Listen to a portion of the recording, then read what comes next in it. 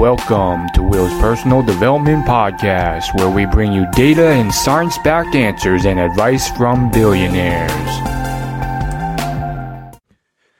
What's up, everyone? My name is Will, and I'm excited. I'm beyond excited right now because I'm recording this at the start of the new year. And what comes with New Year's but New Year's resolutions?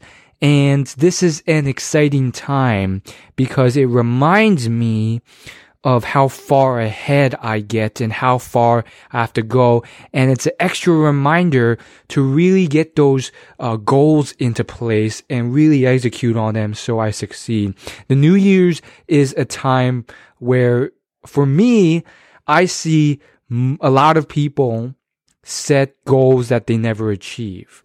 And so for me, that really reminds me that I can't let that happen, that I can't just set goals January. I have to set them every month. And that's what I do. And that's why I don't do New Year's resolutions myself because I'm always setting goals. I'm always achieving them. And to be successful, you can't be like the people I see, and I see it all the time. Uh, I've seen it for the last few weeks now into January because this always happens. I've seen this happen for years and years and years, at, especially at the gym. Everyone just floods the gym starting January, and you could just see the madness of the crowds. They're just trying to, you know, a whole year has passed, and they are reminded, and they rem- they think. I'm a year older and I haven't accomplished anything. So they set out to go to the gym and sure enough, I bet you that's come February, I've seen this happen every year. 95% of those people stop coming to the gym.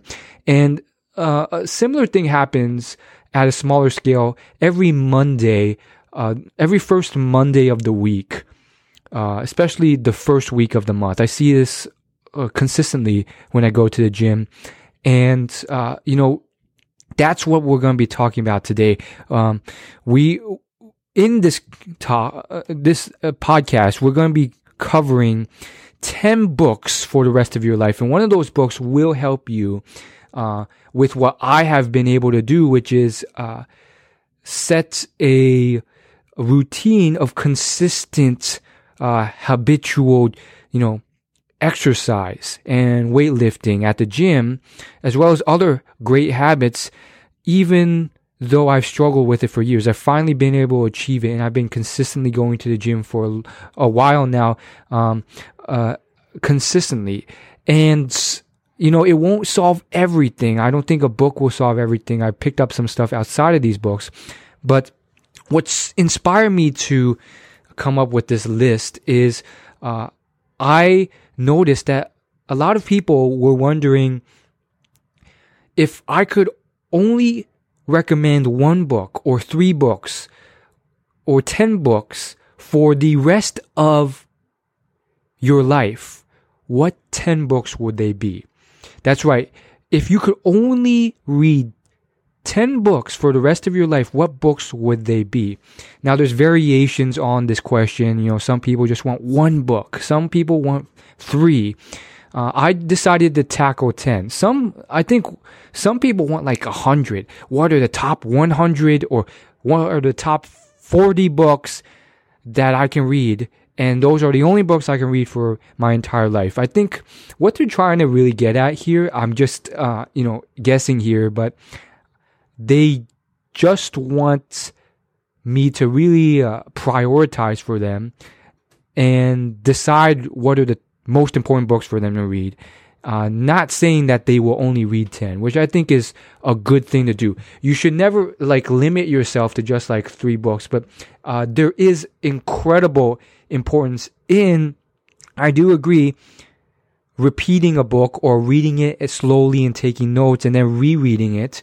Uh, and I think it's highly underemphasized in the modern times. I think uh, a lot of people I know in the self help industry uh, the trend right now uh, is to you know promote this idea of quantity over quality, which you know I've experimented with, and um, I prefer results over showing off. And when I really looked at what I had accomplished by speed reading or using my speed, the speeding reading tactics I learned, or by, you know, playing audiobooks at three times speed, I realized I wasn't picking up as much knowledge and as, as much results as if I slowed down and reviewed what I read. So I switched it up, even if, you know, I couldn't brag that I read, you know, a book every two days or something like that. So my, my current tr- rate is about two per week, uh, which has slowed down, but it's still uh, pretty fast for most people. Uh, anyhow, I'm going to stop rambling here and I'm going to give it to you. Now, these are 10 books um, for the rest of your life. The top 10 books that I would suggest if you could only pick 10 for the rest of your life. I have them listed out here. And let me just make a quick distinction here. I've done lists like this, but they're not the same. For example, I did a list on uh, top 10 books that would change your life. Um, and that list, uh, which you can find on my blog, willyoulaugh.com, that list is different because that's on books that you want to read if you want your life changed, if you want a complete pivot in direction. And of course, that list is more geared on, you know, learning what's needed to be learned in life and making that switch. Versus this list is more about, you know, what are the pillar books that's, uh, you should read if you really want to have something that you keep uh, going back to for foundational, fundamental reading that will constantly help you improve in life. And uh, it's similar to Bible type books, I would say. And so it, there's a clear difference here. One is for sort of lifelong improvement and uh, lifelong movement towards success versus the other list is more about like pivotal changes and realizations. So don't get it wrong. Don't think that uh, they're the same list. Now, uh, before I jump in, I also want to give a bit of credibility because you might be wondering, well, why should I trust you? Why? How many books have you read? Uh, and I think this is a fantastic question because uh, you don't know, and so I should tell you. So the first big thing is that uh, for me, I've, as you can probably tell, read a lot. Some of it is through audiobooks, some of it's through actual print books. And I would say within the last three years, I've read around 150 books. And I'm not saying this to brag at all. Um, it's just to, uh, you know, explain to you that I'm not someone who's only read like three books and then I'm just like picking out random books uh, based off their summaries online that I haven't really read myself to generate some viral list. And unfortunately, if you go online, that's what 95% of the viral articles you see online, that's what they do. And it doesn't take me long since I've actually read most of those books in the self-help industry. Uh, I can kind of tell if the author of that article fairly quickly, usually, whether or not they've actually read the top 10 books or the top 50 books that they're recommending. And usually, uh, especially, you know, if you go to these viral website articles, uh, where they just like churn out like top 10 lists every day, uh, it's very clear to me that that's what they do. They haven't read the actual books. They've just done a little bit of research, picked a few books based off their synopsis or their Wikipedia summary, and then they plopped it up. And of course, they get very, um, erroneous summaries. They're off. They're not actually accurate. And the reviews on how good the book is, is off. So that's where I'm coming from. And I think, uh, you know, I have a fairly, uh, comprehensive grasp on personal development. So I think I can really help you out. Uh, just to give you a little bit of structure. So when, when I'm talking personal development here, um, here's what that really means. It really breaks down to, um, a couple central pillars that we all strive towards. One is wealth. Another is happiness. A third would be, um, you know, mastery and performance, which you can arguably put under a subset of wealth, but not necessarily. You know, money doesn't necessarily mean success. Uh, so a th- third one would be mastery at a skill set or craft or, or be, to become successful at something. And then maybe the fourth one, uh, would be relationships and dating. Uh, so, uh, you know, that, those are like the, you know, big four pillars, uh, health, wealth, dating, happiness. And arguably there's like a fifth one, which is, uh, intelligence or wisdom. But for me, that's always come very naturally. Like when you've really read as many books as I have, like just, um, just being interested and reading them, you naturally become smarter. And for me, that's really not an issue. It's a non-issue. And arguably there's a sixth pillar, which is health. Uh, they're all foundational pillars. And, uh, we're not going to be covering health. Why? Because there's a million fitness websites and podcasts, uh, and that industry is saturated. So we're not going to be covering health and fitness advice that much. There is one book on this list that does cover health, uh, but generally speaking, my content doesn't because there's just so much out there. I think it's really important. I do think fitness uh, is a huge investment that will pay off in the short run and long term to do all sorts of great stuff, give you more energy than you invested, give you more time back, make you live longer, give you more focus, etc., etc. I know a lot about fitness, but it's just not my focus. Uh, so what we're going to be focusing on really is wealth accumulation. Uh, mastery is a big one. Uh, and happiness is probably the biggest. And we'll, we'll touch lightly on dating as well. I have one book in these, in this list of top 10 that is a dating book. And so let's just get started. I, I really think, uh, this list will provide a lot of value to you. I know you, you've been, you're probably waiting on the edge of your seat to, to hear these 10 books that I would recommend if you could only read 10 books for the rest of your life. Uh, again, th- this list is tailored from what I have read and what I know about. So I have a pretty thorough universe about books, um, in this space, more than like 99% of people. So, uh, I'm pretty, I think it's, it's a solid list, though there could be something I missed on there. It's not a perfect list. And maybe in a year or two, I might tweak it a bit, but nonetheless, this will get you far. Uh, so I'm not going to hold the suspense any longer. Let's start with number one, Rich Dad Poor Dad.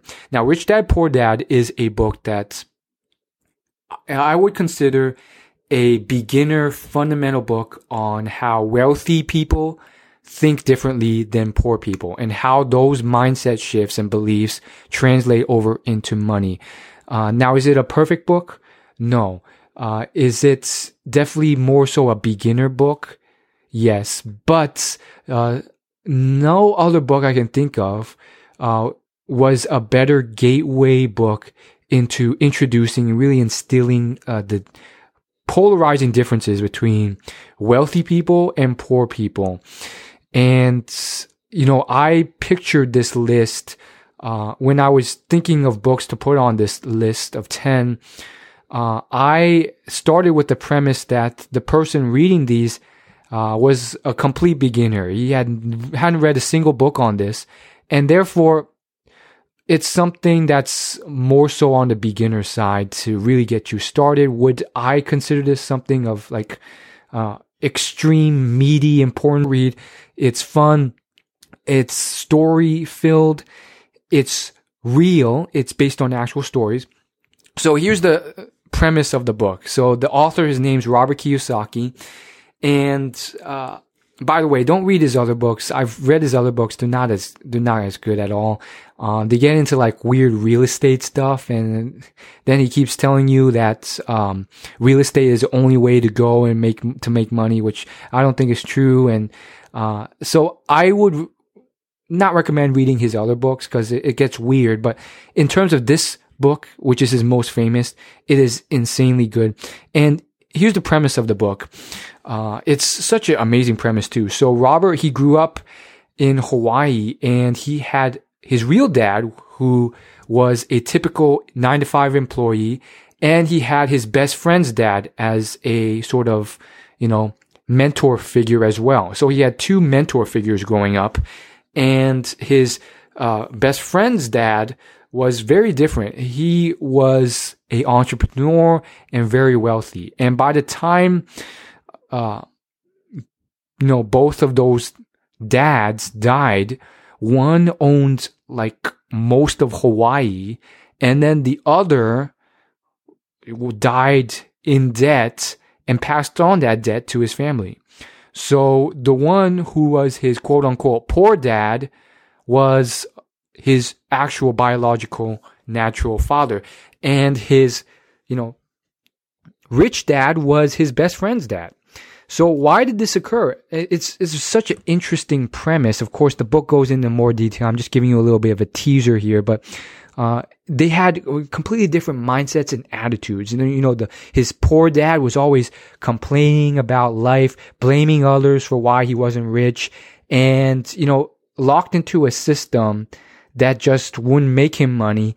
And it was something where he, you know, had all these bad mindsets. For example, one of the biggest ones that I still remember is, um, he said that, uh, if he wanted to be rich or if he wanted to buy something expensive, then he had to, you know, steal or lie or, you know, work hard or sacrifice family time versus the rich dad. He took a different mindset. He said, well, how can I get that without, you know, of course, sacrificing fundamental things that you don't have to, like, you know, your health or, you know, not seeing your family for a year because you worked yourself to death.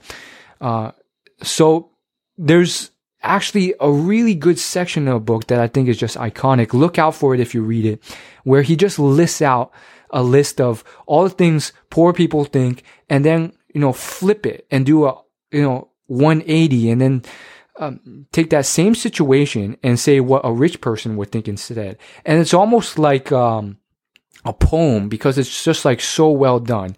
And I, I remember one of the lines was something like, um, a poor person would say, I can't afford that. But a rich person would say, how can I afford that?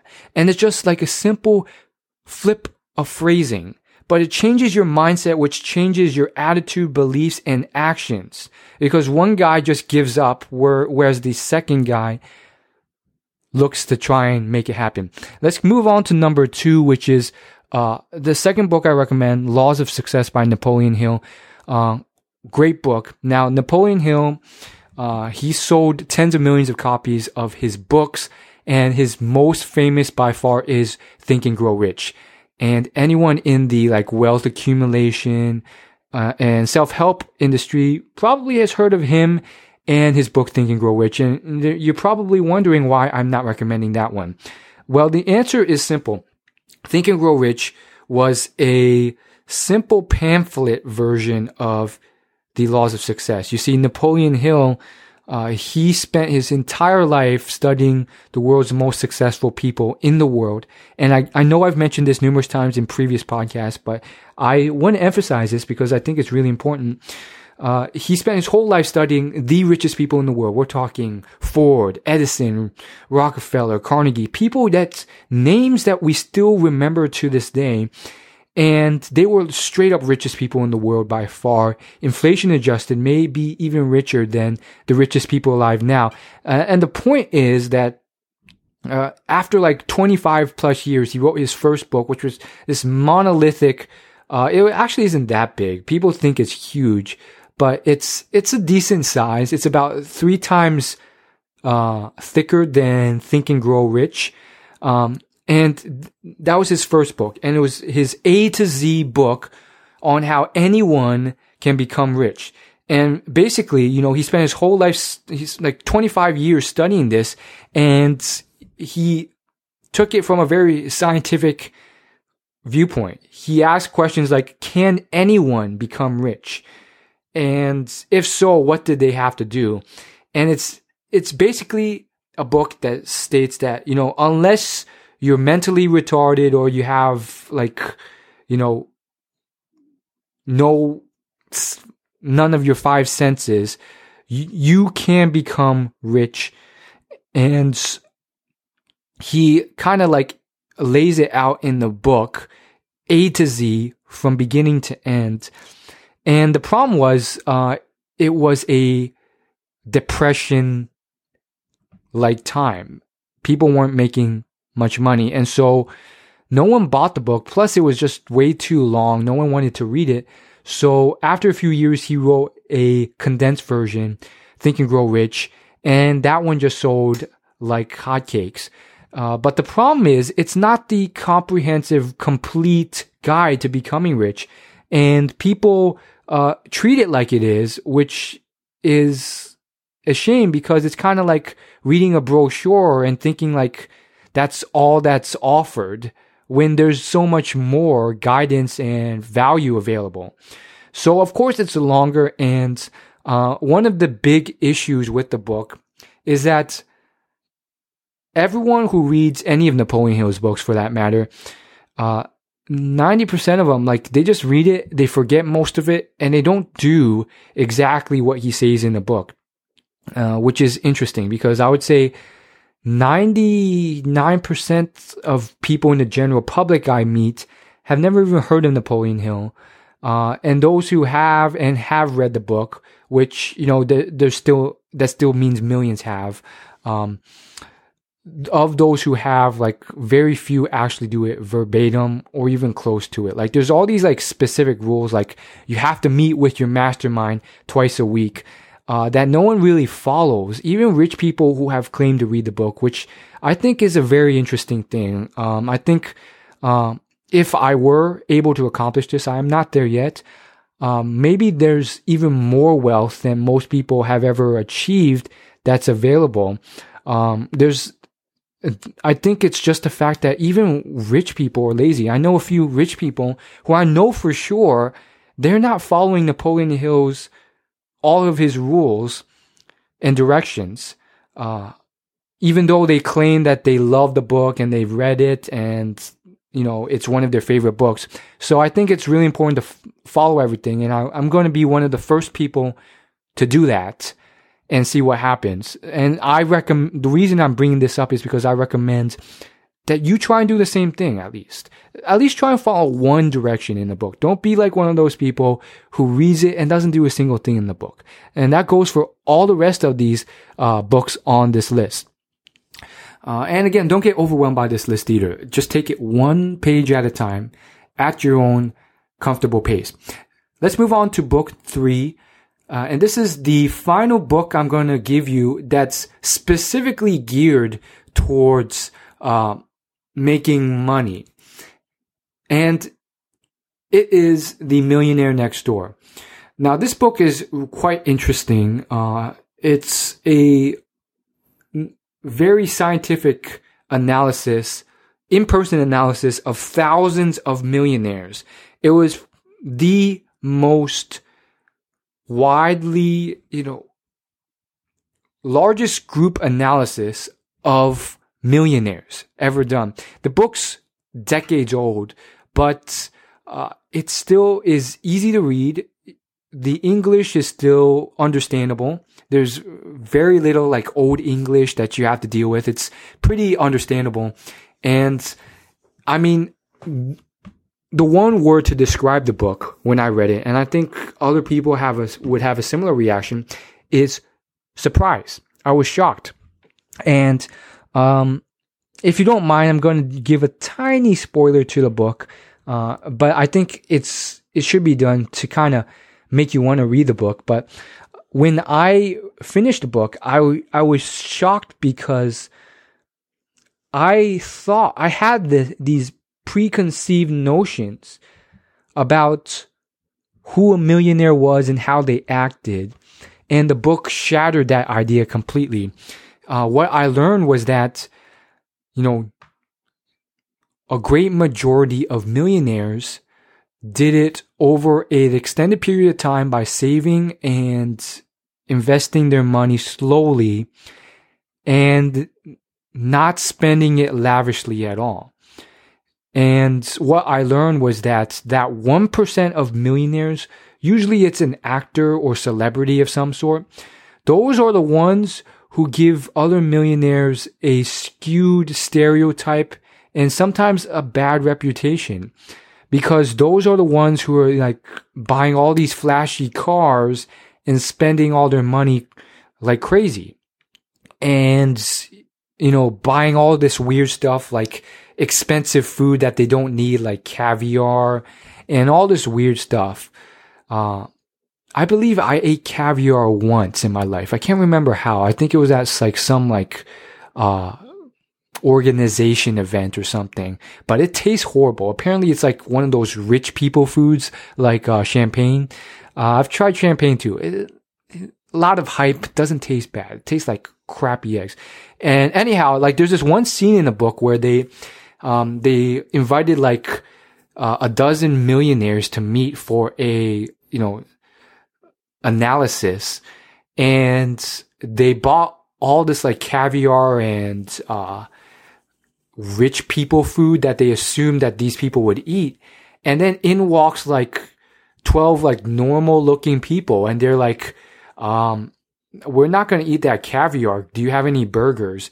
And so long story short, a lot of very startling insights about millionaires. Uh, they're not flashy. They don't buy fancy cars. They don't eat weird, you know, bizarre foods and they're, most of them are not like that stereotype that you see. So it really helped me uh, understand more about what the actual millionaire is like and a lot more about the world, which I think is really cool. Let's move on to number four. I wish I could just talk and talk. I probably could talk about each of these books for at least half an hour, but uh, I have to start moving here. Now we've moved on from wealth creation books. Now we're going to going into regrets. This is a book I've recommended before, but I think it's still so important um, because success in life goes beyond just making money. The book is Top 5 Regrets of the Dying. And of course, some of the, those regrets that she does mention in the book are directly tied to the making of money. You see, you can make money, but you still fail in life um, and be unsuccessful by not living up to what you've always wanted to do, but lack the courage to do, or not pursuing your passion. Uh, and I'll give you a great story. So yesterday I was reading a book by the un- almost undisputed best chess player of all time.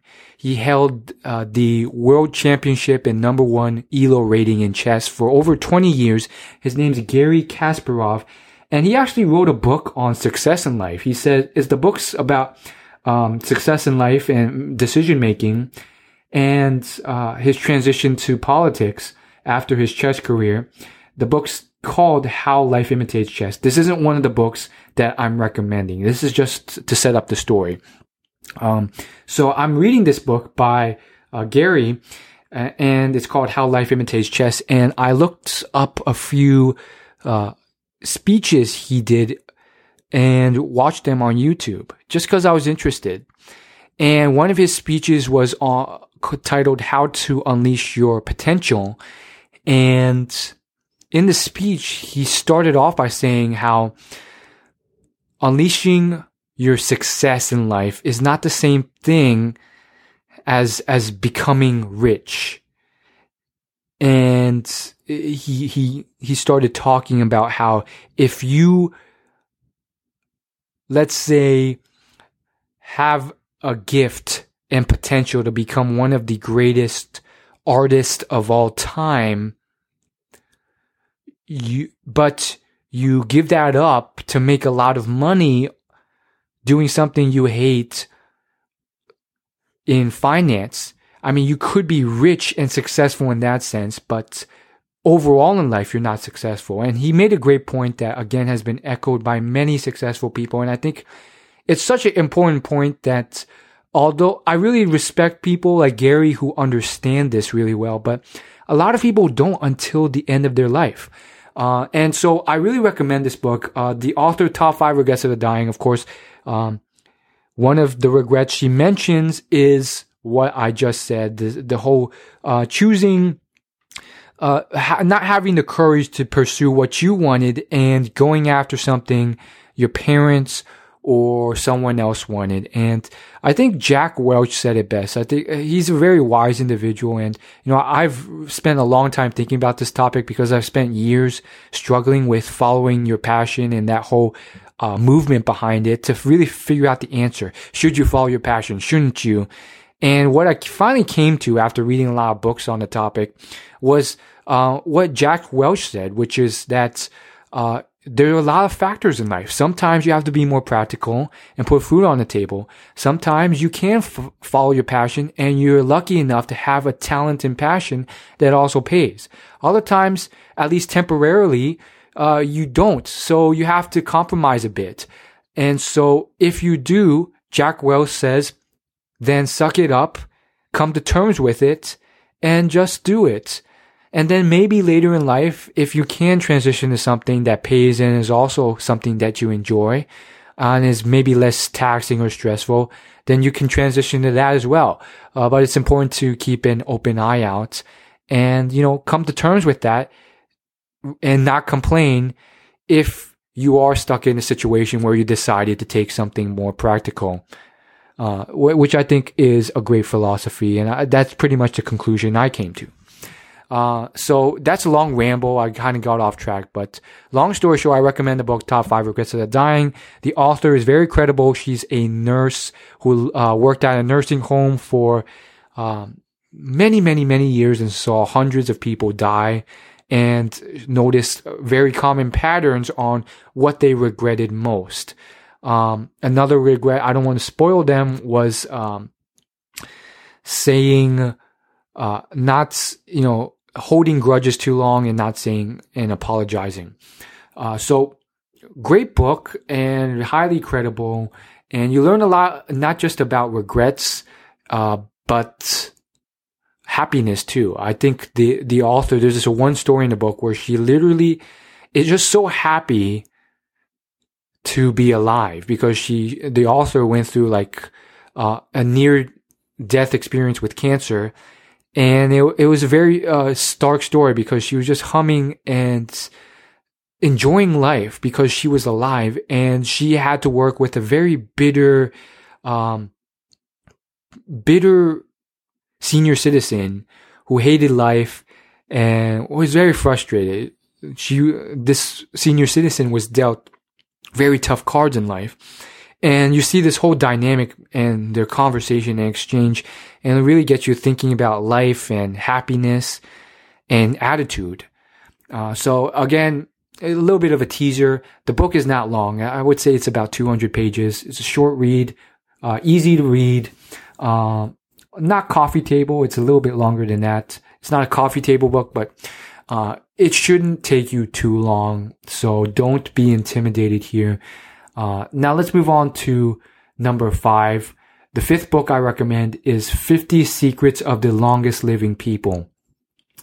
Uh, this book is self-explanatory. So one avenue of living longer is health. And, and one avenue of success, I mean, is, is health.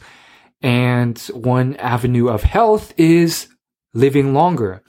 Uh, of course, you know, if you have reached success and you're enjoying life and having fun, then of course you want to live longer because we're only given one life. And if we screw it up and we have regrets or we die earlier because of something that we kept, uh, that we could have controlled, then that's on us. I mean, if you get, if you have something out of your control happen, whether it's cancer, you know, that's something out of your control. But if it's something you can control, like your health and how long you live, what food you put into your body so you don't get heart attacks, uh, maybe even being a little safer on the road so you don't get hit by a car, that's your responsibility. Uh, these 50 secrets are really good. Uh, I've gone through this book, uh, I would say skimmed. I didn't read every single word, but I've gone through this book numerous times and uh, it's one of those semi coffee table books because um, it's kind of like it's very like it's bullet point esque. Like each of the 50 tips are listed in paragraph essay format, but nonetheless, it's something where you can easily hop in and out of. Uh, these secrets uh, span everything from your attitude towards life and stress, uh, your lifestyle to what you eat, what you shouldn't eat, like cheeses, what you should maybe eat more of, like tomatoes and onions, how you should cook your food, and what type of cooking methods you should avoid. Uh, spoiler alert, fried foods, avoid. Boiled foods, good. Uh, so it covers a lot of things, you know, what types of foods to eat, baked potatoes, sweet potatoes, uh, and on and on and on. I think it's a really great book. And I think it's something that may be a bit overwhelming. It was for me. I think 50 was a lot of things to handle. And, uh, you definitely could get a little bit too, uh, OCD, too over controlling or over perfectionist, uh, by trying to do them all because like, I don't think anyone really does them all. There is no perfect. Like, uh, the book was, uh, made by studying some of the longest lived tribes across the world, from Africa to Okinawa, Japan. And what you'll notice is that there's a lot of convergence there, but uh, some of those uh, tips, uh, some of those secrets are from one specific tribe. So even within that tribe, they're not doing all 50 of the secrets themselves. So don't get overwhelmed. Don't try and create some type of concoction, uh, food concoction that has like 23 of the 23 food secrets of the longest living people because I don't even think the longest living people themselves are that anal about it or perfectionist about it. So just keep that in mind, uh, as you read the book. Now uh, we're moving into the domain of happiness. Now this is a, a domain that I think is probably one of the most important domains because at the end of the day, I think most people want their children to be happy above all else. They want themselves to be happier, happy beyond, uh, rich or anything else. So I think happiness is a, you know, one of the pillars of personal development that I think uh, is towards the top. It's it's higher than wealth. It's higher than uh, maybe even mastery or you know general success in life, or even dating and relationships. Uh, arguably, all of them are interrelated, and you can argue that living a rich life requires all of them, and you can have all of them, believe it or not. So, uh, the book I recommend, uh, is The How of Happiness.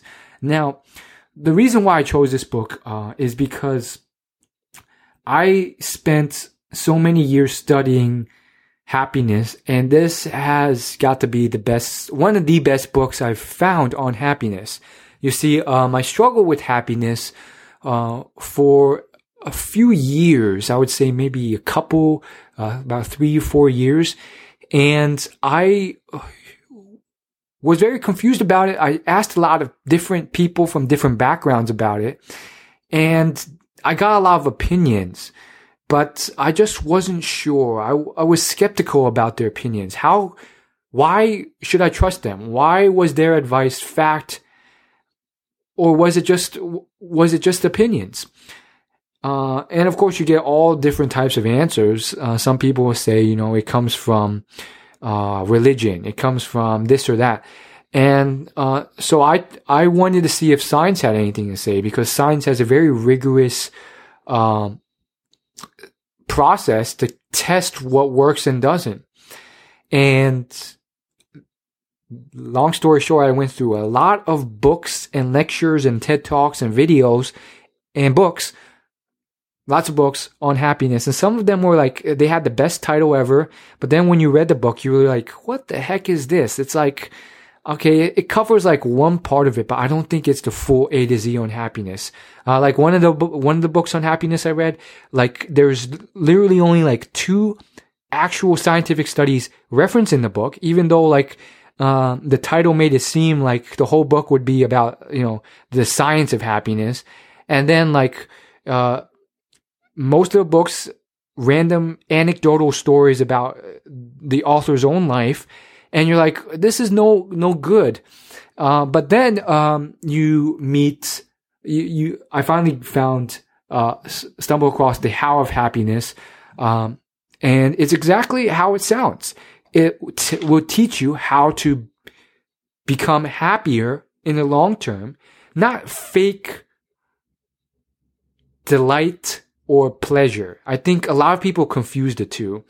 Um, a lot of people. In fact, I was reading the book Delivering Happiness by Tony Hsieh. Again, don't get confused by the names. Uh, Tony Hsieh, he's the founder of Zappos. It's a uh, very successful shoe online company where you could buy shoes online. Uh, it was acquired by Jeff Bezos of Amazon.com. And despite the name, it has, it's really not about the science of happiness or happiness at all. It's about, um, how he built, uh, his successful businesses and the ones that came before Zappos.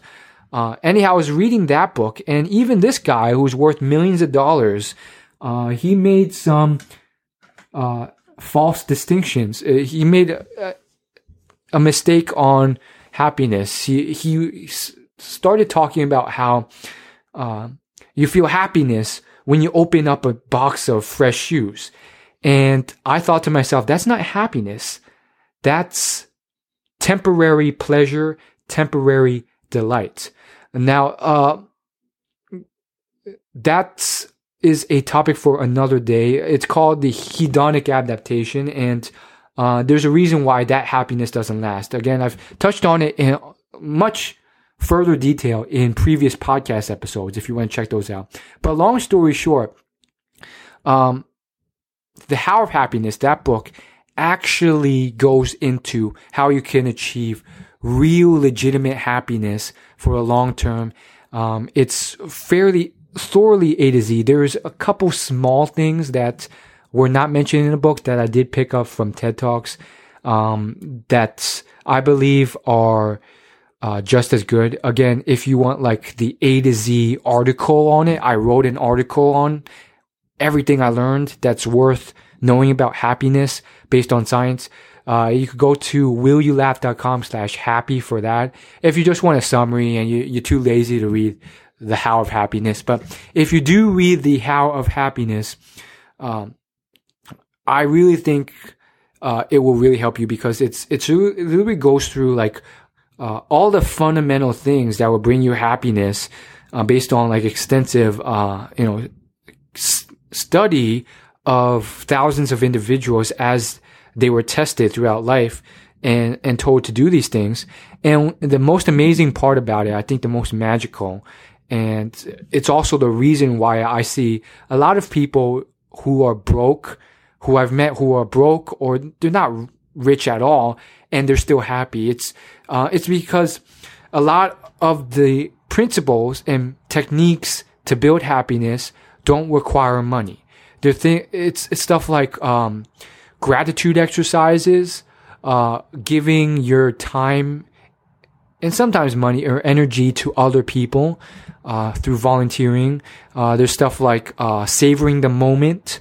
Uh, there's, you know, small things that you're like, wow, I didn't think this would bring me happiness. It doesn't cost anything to meditate or have a gratitude journal.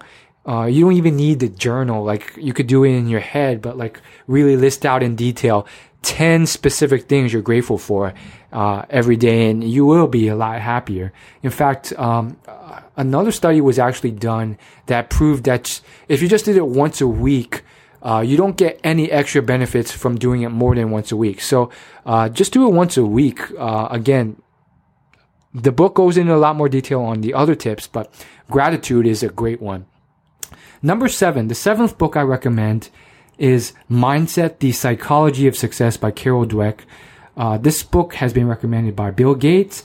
Uh, it's made its way into the self-help community roughly um, four four-ish years ago ever since I think Bill Gates was the one who really popularized it. He uh, wrote an article about it on his blog, Gate, uh, GatesNotes.com, and that kind of just blew it up out of the water.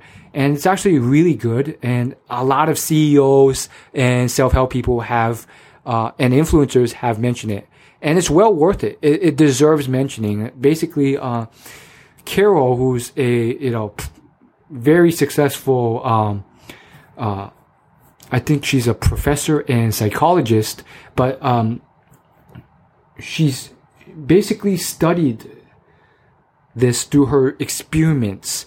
So she did all these studies on children and adults, and she found something called a growth mindset versus fixed mindset. And the growth mindset is uh, when you believe that uh, even if you suck now, that if you challenge yourself, you can and you work hard, you can improve and get better at something. Whereas fixed mindset people believe that you everything is kind of fixed from birth, that there's no way that you can really improve your situation or skills in life, and you give up easily. And of course, the fixed mindset people are unsuccessful in life. But if if you look at the the growth mindset people, they grow up to succeed in life. And there's all these like little studies that that uh, prove this. And there's this like really good one where uh, they studied children, and basically uh, they gave two groups of children problems that were just so much harder than they could possibly ever deal with. They were math problems, and both children failed them uh, but the growth mindset group, uh, one group was growth mindset children and the other was uh, fixed mindset children. The growth mindset children, uh, they pretty much went on to uh, like stay energized and enthusiastic and excited for the next challenge. And when they then went on to present both groups with manageable math problems, the fixed mindset people gave up without even trying or really even looking or attempting the problems at all, even though they were now problems that they could manage. And it go, it, it uh, goes into a concept called learned helplessness, which is actually, that's a concept that has been, uh, already discovered, um, by, uh, the people in the self-help industry for decades now. I think scientists are really kind of, uh, scientists like M- Mrs. Dweck, are really just catching up, but it's it's called learn helplessness, and basically what it, the concept means is that um, you learn to be helpless even if you're not helpless anymore. It's kind of like the ugly duckling syndrome, but for helplessness. Uh, and a great analogy to explain this would be uh, the story of the elephant and uh, there's like variations, like different animals, but the the main idea of the story is that um, uh, again, there's a lot of people tell it differently with different animals, but the main idea is that uh, when an elephant is a baby, it's like really small and weak, so the owners would tie it to like uh, a stick that's stuck to the ground. And for most of its childhood, it will struggle and push as hard as it can to escape that stick. Uh, but then when it reaches adulthood, it has already given up. Uh, uh, but now this elephant is like enormous. It weighs over a ton. It's really strong. However, it's learned to be helpless, even though it has grown to a state where it can easily rip off that stick if it wanted to. But he still believes as he did when he was a child that he can't rip himself off of that stick. So that same type of learned helplessness uh, happens with humans and other animals, and you can't let that uh, happen to you because what if you can now accomplish all these things, but you're limiting your potential because you have that learned helplessness, that ugly duckling syndrome, and you still believe that you can't accomplish something because you couldn't as a child or you were told some false information by a parent or a teacher as a child that you bought into. The eighth book I recommend is Emotional Intelligence. Uh, this book was released a few decades ago. It's one of the oldest ones on the list. But again, we're covering now the domain of uh, sort of mastery at life. Um, again, Carol Dweck's book and this book, Emotional Intelligence, will kind of really help you succeed in life in general and your skill sets and, and crafting and making yourself uh, better and better at what you do, your your unique ability, your specific skill that you want to hone and become uh, world class, or at least move towards becoming world class at. Uh, and this book, when it was released, it just ripped apart the world, especially the entrepreneurial world. And then it just kind of died down a bit. And then now it's kind of like resurfaced a bit somewhat. Um, and there's still a moderate amount of hype around it because it is still an amazing concept that was discovered by science. Um, but at the same time, it's it's kind of one of those things that's like niche. Uh, and what I mean by that is like if you go to uh, the general public and you walk out on like a public street, nine out of ten people would have never heard of it. But within the millions of people who read self help or are really into the entrepreneur space, they know about this book because it's really helpful. So why is this book so amazing? Even though it's pretty old. Uh, basically, for most of, you know, the 19th and 20th century, uh, a good portion of human you know, civilization, people believed that the only measure of success in life, uh, you can argue success is wealth or success in general. I, I would say they believe both. Either way, they believe that success in life was only correlated with IQ. The smarter you were, were, the more successful you were. And of course, uh, when emotional intelligence came out, it kind of just ripped that model and kind of not disproved it, but kind of said that's not entirely true. And what they discovered was that emotional intelligence, uh, through studies was just as important, if not more important, to success in life. Emotional intelligence is a form of intelligence around uh, identifying, understanding your emotions and other people's feelings and emotions in social settings and career and professional settings to better navigate and uh, you know communicate and interact with people uh, so that uh, you you all as a community get the best possible outcome. And EQ, as it's called, uh, what really sets it apart is that everyone knows that IQ is fixed and really can't be changed. It's genetic. But EQ is highly changeable. So it gave people hope. It gave people who um, thought that like life was fixed and you couldn't really do anything and hard work wouldn't help improve your success in life. It gave people hope that, hey, maybe I can improve uh, my situation and results in life if I improve my EQ. And that was one of the big appeals to e- EQ. It, it was uh, proven to be, uh, you were able to increase it with work and practice. So that was really exciting and amazing.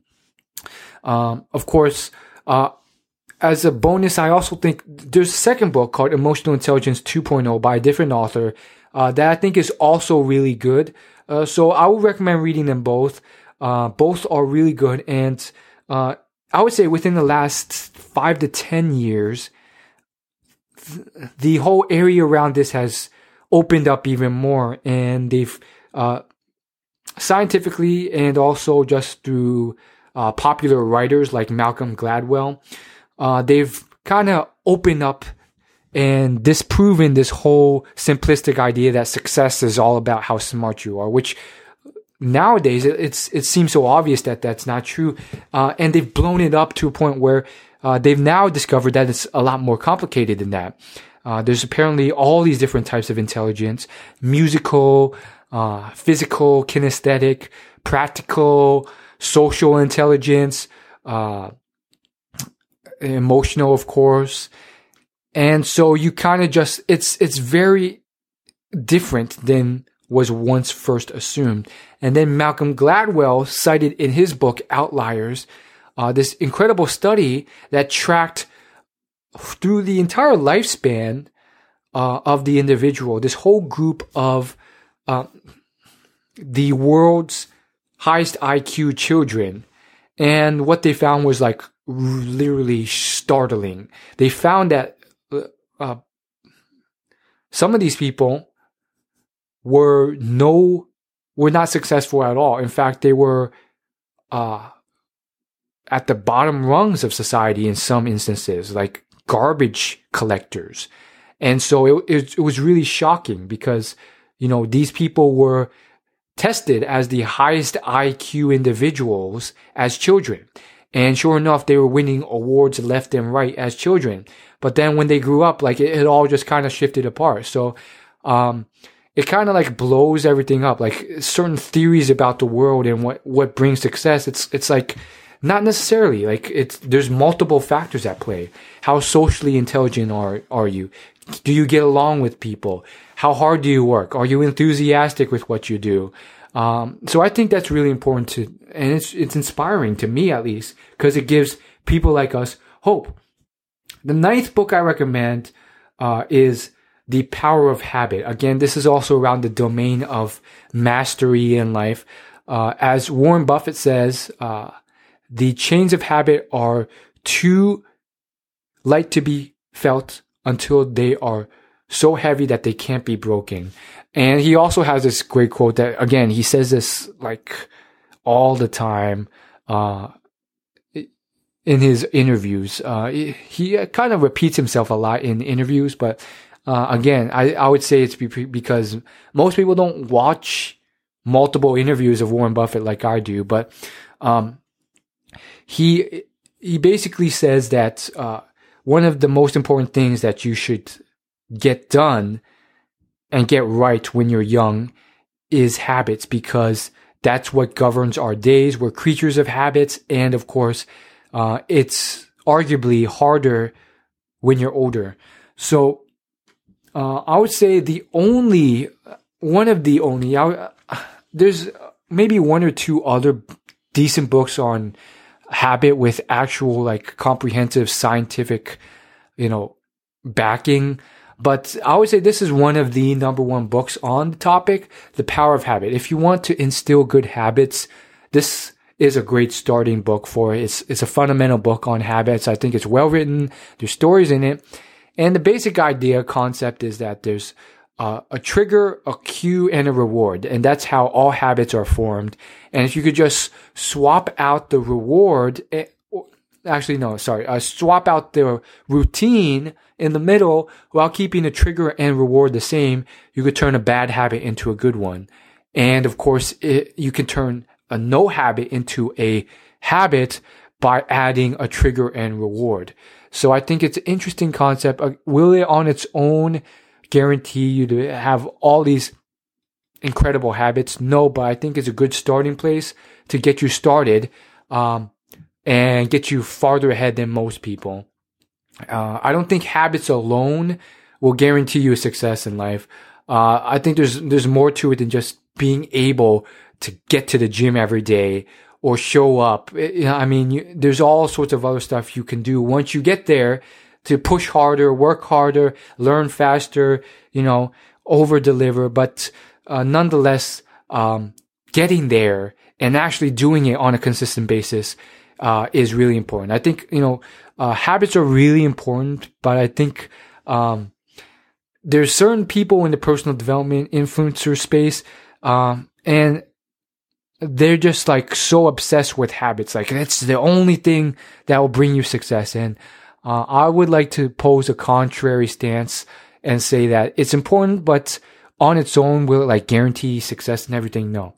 Now, the 10th book that I recommend on this list, uh, is one I just wanted to throw in there because, um, it's been a huge impact for me, but for you guys, it may not be because maybe you're not a guy. But I had to throw this in there because I think it's really important, uh, and it's on dating uh, the last pillar of success. Uh, now this book is specifically for men, so uh, if there's any ladies watching, I'm sorry, but stay tuned because I do have six books, uh, extra bonus books to mention on my honorable mentions list.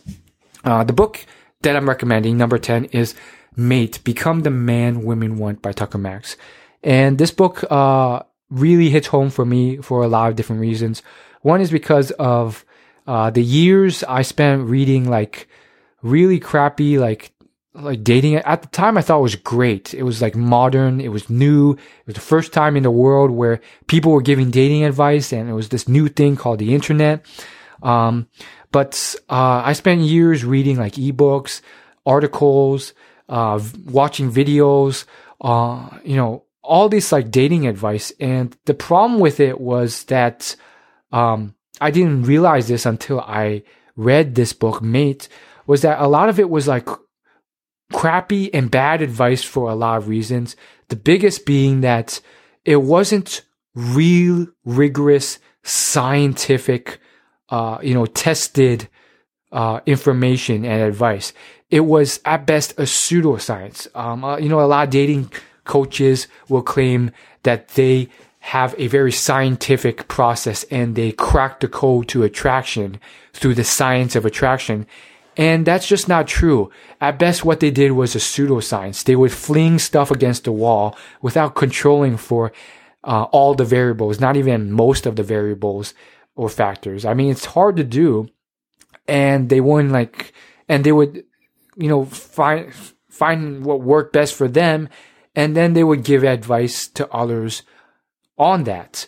Uh, but when you take a really rigorous, like science, actual science has a very rigorous process with controlled variables uh, to test this, and of course, uh, it has its limitations too. But um, it really revealed a lot of things that were very contradictory uh, to what I still think is um, a lot of it's modern and highly held mainstream dating advice. Stuff like uh, that the only way to meet girls uh, successfully uh, is to go to a bar or nightclub, uh, which is ridiculous because most people don't live like that. But I bought into that for a long time. Uh, and I thought for a while that I had to, uh, you know, just wait until one day I could move to a place that had one. So, I mean, there's all these like iconoclastic ideas in the book and scientific backing. Of course, there's a, um, a couple other books that I think the book um, really sources from. So, um, if you want to dive into even deeper science, check out the book Why Women Have Sex and Why Beautiful People Have Daughters. Those two books are really scientific and I believe mate that book sources from those two books. So, uh, incredible book, and it, really takes a highly different spin on it because there's all the science behind it, and it goes into all these details that are really different, like um, that I've never heard from any other books. Like this whole idea that like uh, women are uh, unconsciously very wary of rape and um, any type of interaction with strangers. And that's something that like no dating coaches really ever really talk about. And they go into all these like unconscious, uh, scientific reasons for this and, um, how to address it. Like you have to actually, uh, show trustworthiness and safety and maybe even have a first date with a group of people or in a public setting. And those are things that most people don't address. There's all these like really cool things in the book that like w- are never addressed before and go against what's like commonly understood. Uh, and it's, it's really reputable, highly scientific and fact based, which is not what's been done, uh, at all. So great book. Those are my 10 uh, books to read if you could only read 10 for the rest of your life. Now, of course, uh, it was really tough for me to whittle down this list to 10. So I actually have six other extra books, bonus books to mention, uh, that are honorable mentions. So I'll uh, move through these quickly, or at least I'll try to. The first is Tap Dancing to Work by, um, I, I think her name's Carol Loomis, and it's a book uh, about Warren Buffett. And uh, Carol is the I, I, thought I believe she she was the editor of Fortune uh, magazine until she retired, which is a very famous magazine uh, that's entrepreneur and wealth focused. And uh, the book is mainly a collection of articles about Warren Buffett, uh, plus commentary on Warren Buffett through Carol, who had a um, insider's perspective of who he was as a person because um, they knew each other. And what makes this book really good, you know, I was really tempted to add this to this list. In fact, it was, it's probably the number one book um, I would add to this list if I could. And the reason is, is because um, Warren Buffett as a person, uh, he has taught me so much about living a successful life beyond just money. Uh, there's a money manager, his name's Mohnish Pabrai, and he said it best. Uh, he said that um, the greatest things about Warren Buffett have nothing to do with money. Uh, I think it's it's hard to explain exactly, but you know, I I got into personal development first uh, through a, a few videos about Warren Buffett online, and then I just consumed everything about him.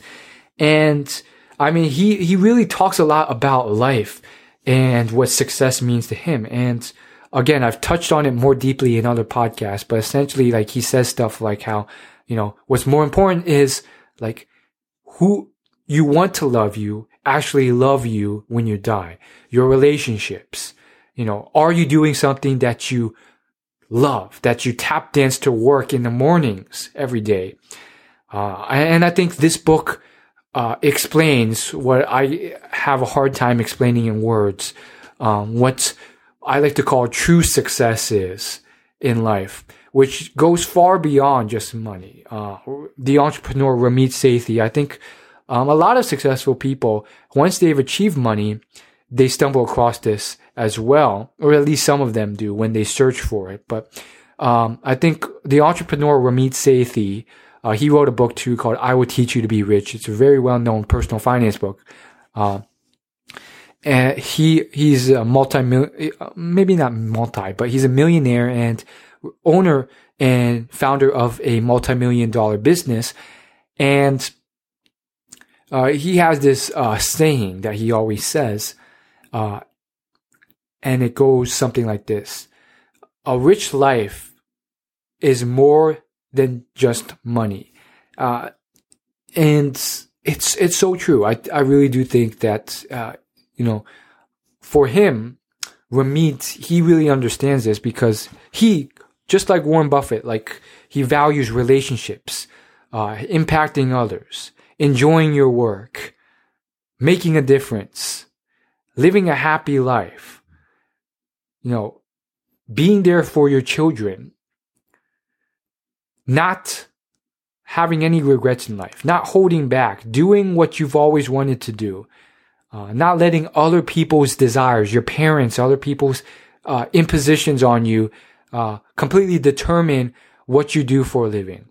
And those ideals um, are very different from not just um, what my parents or other Asian parents tell their children, uh, which I see all over the place. I would say, like, I know, like, I would say most of my Asian friends, I'm Asian, by the way, if you didn't know, most of my Asian friends, um, they have been affected affected by this as well because most of them are on the way or already pharmacists, doctors, uh, etc., etc. I would say I've also not only those people, but white, black, Indian, um, Hispanic, every ethnicity I've seen, they follow the exact same trend.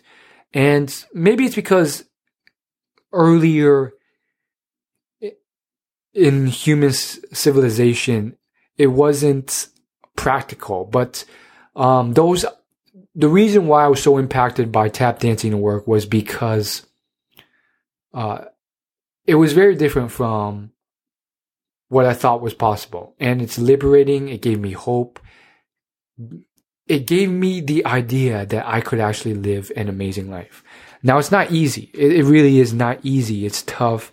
Um, but I think it's doable. It's possible. And now more than any time in history, I see more and more of these, more, more and more and more people achieving it. I mean, I see it all the time on YouTube, all the time. Like all these YouTubers, like there's thousands of YouTubers now who make a lot of money and they they play video games for a living on YouTube or, and stuff like that. And of course, there's a lot more hard work behind the scenes. They often spend more time editing uh, than actually playing video games. But nonetheless, I think um, it is possible more and more now in the modern world. So that's why I think tap dancing work really just shook me to my core. Uh, another book I recommend is Never Eat Alone by Keith Ferrazzi. Uh, this is simply a book on networking. Um, it really uh, opens your eyes on how to become a better networker and also uh, kind of changes your idea and opinions about networking. Uh, because some people think it's kind of sleazy, but uh, he kind of shows you that hey, it's not as sleazy as you think. It's actually, uh, if done properly, it's a beneficial relationship to everyone. And this guy who wrote it, I mean, he is just a, uh, I don't know if he's a genius networker or just someone who is insanely good at what he does.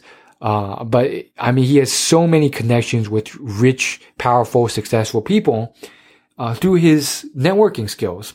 Uh, and I think it's something where you should double down on your strengths. Networking is definitely not one of mine, but I do think, you know, it's something to note if I ever get into that situation. And, um, it really opened my eyes to the power of networking, uh, which I never really, uh, accounted as, uh, such a valuable skill before, but it so much is. Uh, so if you want to be a good networker or you think you have a knack for it, that's a must read. Next one is Essentialism. Uh, this book is a very short read. It's probably the shortest out of all the books I've mentioned here. And I would think it's, it's a very simple, minimalist book on productivity. And that's what makes it great. I would say it, a counterpart that kind of does the same thing is a book called The One Thing by Gary Keller. As you can kind of tell by the titles, um, the whole theme to the book, both of those books, is uh, just focus on the most number one most important task that you have to do and do it at the very beginning of your day and say no to everything else until you finish that and then rinse and repeat. Uh, the whole book could be summarized like that, but I think reading it is worth it because they give all this, uh, support to prove their claim or make it more clear. Uh, and once you read all those reasons, it might help you actually do it rather than just read it and not do it. Uh, next book I recommend is one I actually just finished a few days ago. Uh, this is another honorable mention. The Art of Learning by Josh Waitzkin. Now, I was very skeptical about, uh, the author and then the tables completely turned. I really like the book. It's incredible now. And the reason for the flip and the initial skepticism was because I first uh, heard about him through his interviews on the Tim Ferriss uh, podcast show. And what I didn't really like about it was like he started like giving all this advice on like investing and all these other things. And I'm like, uh, dude, you're a chess player. Like, does, it doesn't mean like you can give all this advice on all these other things in life. Uh, I think Tim was kind of like pushing him to do so. Uh, so I can't say it was completely fair, but, um, uh, I was a bit skeptical of kind of both of them, Tim and, uh, Josh Waitzkin. And, uh, what changed it for me was, uh, I really wanted to get better at learning. I had taken the Strengths Finders test and learning had come up numerous times as my number one and or number two best strength. If you don't know what Strengths Finder is, it it's a book and it comes with a paid online uh, strengths test. And there's all these there's like 50 different strengths that you could have. And for me, a learner always comes up like first or second. So um, then I started running into people uh, teachers in real life that were telling me that I was really good at learning. And I hadn't, you know, hinted that I had taken a personality test or anything. They just mentioned it. Uh, I think one was a fitness, uh, coach. Uh, second one was a, um, a jujitsu coach. and a third one was another martial arts coach. And they, they all kind of said that I was a fast learner. I picked things up quickly and I, I was very smooth with learning. Uh, and it made it very easy to teach. And so when I, my ears started perking up when I heard this and I'm like, uh, I gotta do what I've been hearing all these successful people tell me. Double down on your strength. So that's when I heard about Josh Waitzkin's book, The Art of Learning, um, which is incredible. And I think even if you're not a learner like me, everyone can benefit from being able to learn better because, um, the first big blunder most people make is they stop learning as soon as they graduate, which gives their competitors 80 years until they, they die to, you know, get better and better than you because they're learning while you're not. The second big mistake is they're not learning effectively or efficiently, which I think everyone can improve upon if they just knew a few basic principles.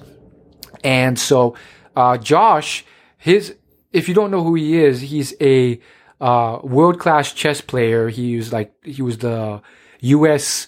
and world champion under 18 and 21.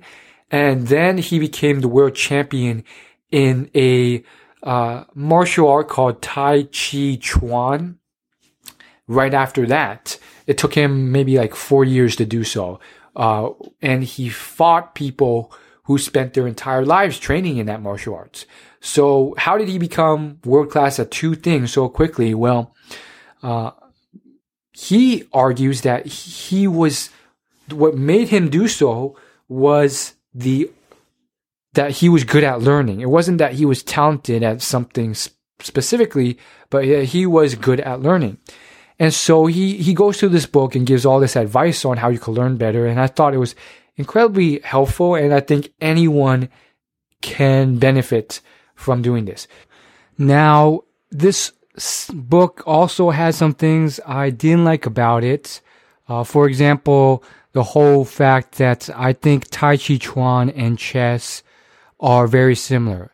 On the outside, they might not seem so, but on the inside, they really are. They both require a lot of uh, outthinking the opponent, thinking many moves ahead. There's a lot of counters to any type of attack. It's an offensive versus defensive game.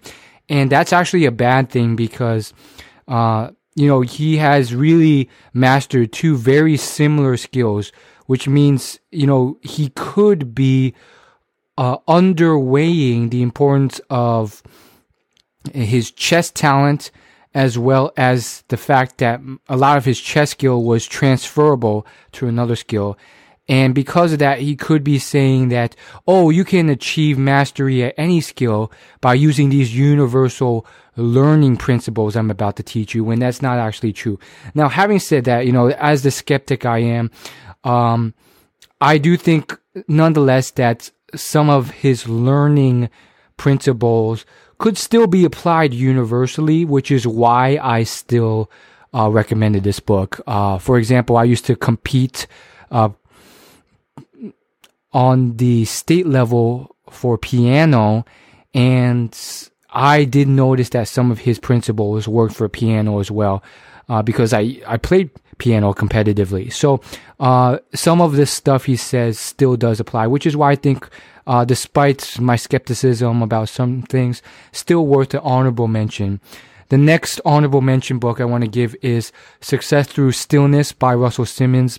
Russell Simmons is a hip hop mogul. He's uh, a very successful, wealthy uh, musician in the hip hop space. Uh, he's not well known these days, but uh, I didn't know about him. But when I picked up his book, apparently he was like really well known with all the other rappers back in the day and uh, he wrote his first book on how he achieved success and got rich and how it was basically a book teaching normal people and his friends how they could become rich as well. Uh, the book, you know, I read it. It wasn't that good. There's a lot of generic stuff in there. Uh, but then I read his next book, Success Through Stillness, and that one blew my mind. It really was the book that was the turning point that convinced me to meditate. And basically, uh, he was already rich, very uh, wealthy and successful, but he was severely addicted to hard drugs, like the hardest of drugs, cocaine, heroin, and very consumed by these superficial things in life, uh, sleeping with new women every night. And, uh, he just didn't feel satisfied. Then, you know, someone convinced him to do meditation and yoga. He really didn't want to. He didn't think it was cool. He did. He thought it would like wreck his life. It ended up saving his life and changing his whole life. He, his business, like 50x or something crazy from there. He got a lot more, uh, wealthy, uh, successful, happy, and, um, it saved his mind because, uh, those hard drugs really like destroy your mind and slow down your thinking. But, uh, meditation uh, really saved his and he, he pretty much concluded the book, uh, by, uh, saying that, uh, you know, you can achieve similar success by meditating and he credits a lot of his success to meditating. And he also, I think the book also did a great job of, uh, dispelling some myths about meditation. And that's really what pushed me over the edge to start meditating myself.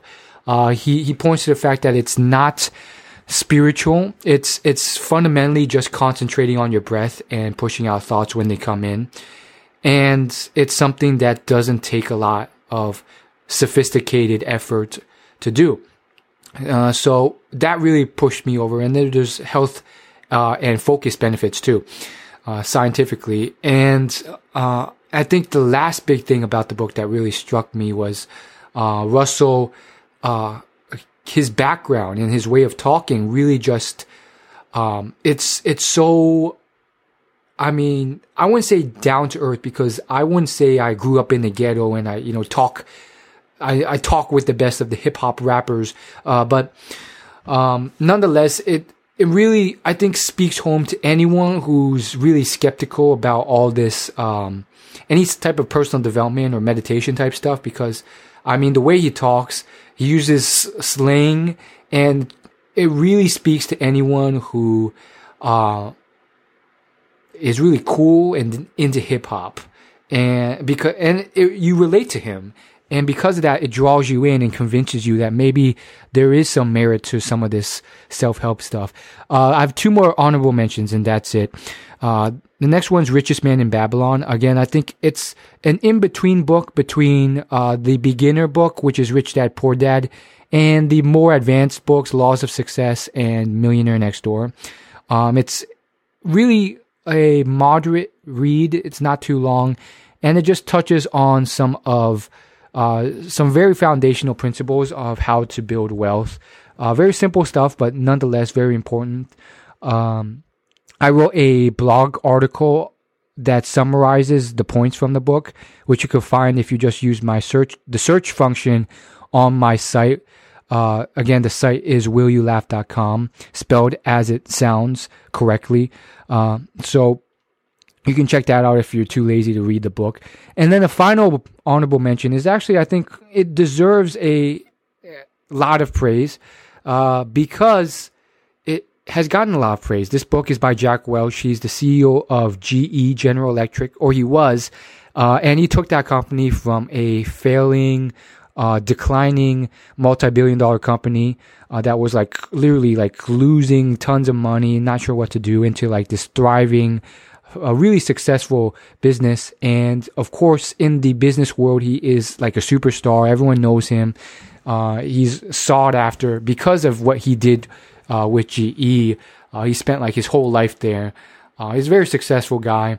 And uh, he wrote a book, Winning. Like his, he wrote other business books, but this is a book geared towards anyone, anyone who's an employee. You don't have to run a business um, but it's a book that covers everything. Like if, if you're a manager or if you run a business, it's also really helpful. There's like tips on that. Um, but it's helpful for employees too. And it's just like this, it's also a book on careers, finding your passion, the truth about that, as I've uh, hinted at earlier uh, on this episode of the podcast.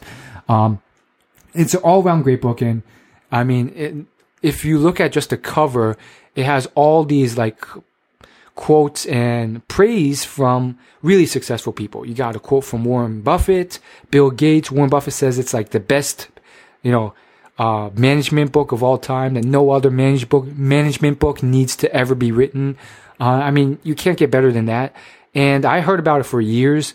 Uh, finally picked it up, assuming it'd be like one of those like, um, tougher to read, dense, long books. But I mean, he makes it so simple and conversational. He doesn't use any fancy words and it's it's so simple and easy to get through. It's short too. Uh, that I'm I'm very amazed at how he did it. I think it's it, it speaks to the fact that like he knows how to boil down complex topics into simple things as well as speak to the person on the other side without overcomplicating it. So I really recommend that book, Winning by Jack Welch. Um, I think uh, just to conclude with all these books, uh, you know, I've met people who have read them, but then like when you quiz them on it, uh, like they can't remember 95% of the book. They haven't taken action on 100% of it. So, uh, don't just read the books. If you do read this, promise you'll take action on at least one thing. And even like I've gone back to taking notes. So maybe just like if you can, or if you want to, spend five seconds to write down some notes on one big thing you learned so that you imprint it further into your memory and you actually remember uh, what you learn and you actually take action and benefit from it. I think a lot of people uh, think reading it is enough and they just forget it afterwards. So I think that's really important. Again, don't just read it. And if this, I'm going to stop it right here, but if you found this useful at all, please uh, go to iTunes and leave a rating and review on my podcast. It will really help um, get my podcast noticed more. I actually set up a URL that you can go to directly that will redirect you straight to uh, my iTunes page where you can leave the rating and review. And that URL is willyoulaugh.com slash podcast.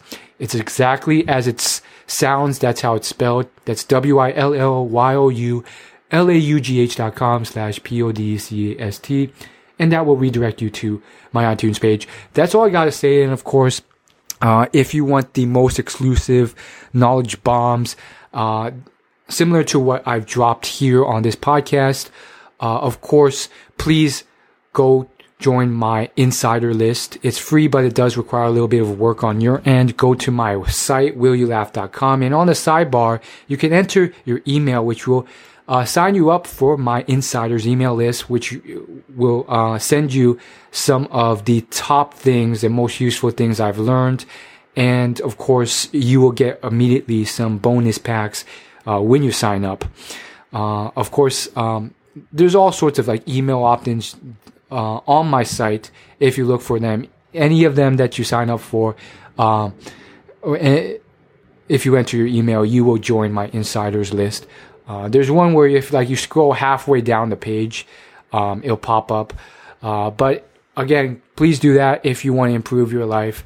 It's for your benefit. again, you will not be spammed. Uh, and that's all I got to say. Thanks so much. And I hope you stay subscribed to this podcast because uh, more awesome stuff coming your way. Of course, already plenty of awesome podcast episodes already released. So if you haven't listened to all of them, listen to them. If you have, maybe listen to them again to really burn them into your head. And of course, new fresh podcast episodes coming out every month. Thanks so much. And I will see you in the next episode of this podcast. Peace.